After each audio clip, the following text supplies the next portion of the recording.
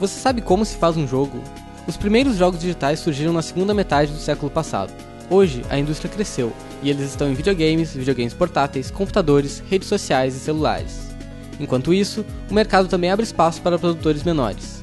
Em Santa Maria, existem três empresas que desenvolvem esses jogos: a Imagination, a Luderia e a Decadium Studios.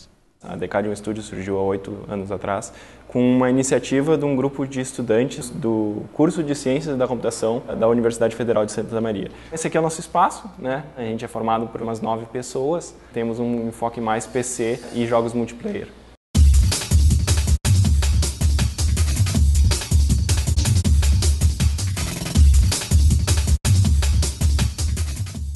Uma nova empresa que está sendo criada na cidade é a Luderia Jogos Digitais, formada por três sócios. A gente quer fazer jogos, jogos bons, jogos criativos, jogos que a gente gostaria de jogar e jogos autorais, partir de uma ideia nossa e colocar à venda. A gente conseguiu uma vaga na incubadora tecnológica de Santa Maria e a gente acredita que seja um bom lugar para começar esse, esse negócio de desenvolvimento de jogos, porque já existem outras duas empresas no mesmo ramo lá dentro.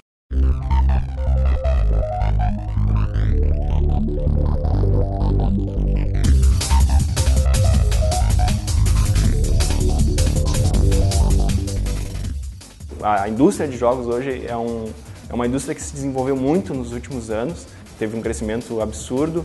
Hoje em dia está se transformando numa indústria internacional, descentralizada e com capacidade para que todas as empresas possam se inserir no mercado uh, e competir de iguais para iguais. Né? A gente pode ver que hoje em dia tá, a gente está passando de uma indústria de jogos que vendia jogos em caixinha, né? Uma indústria de jogos que está vendendo agora jogos em plataformas completamente web. Realmente não faz muita diferença o lugar físico de o, onde o escritório vai estar localizado, porque toda a distribuição é digital. Entre a gente estar tá aqui em Porto Alegre, por exemplo, não, não vai fazer muita diferença. Até porque eu vim de uma capital para o interior do Rio Grande do Sul, né? Até por acreditar nessa ideia também.